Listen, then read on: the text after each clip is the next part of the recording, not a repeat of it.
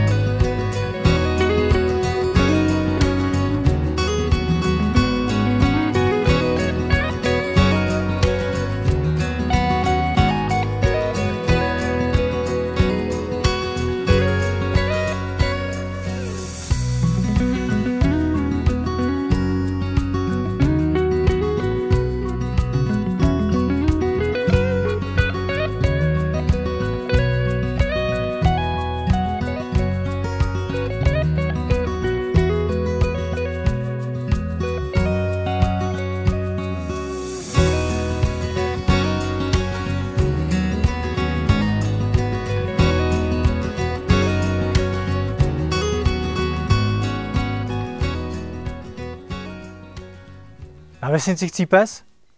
Pro doubici to neplatí. Tady to žije.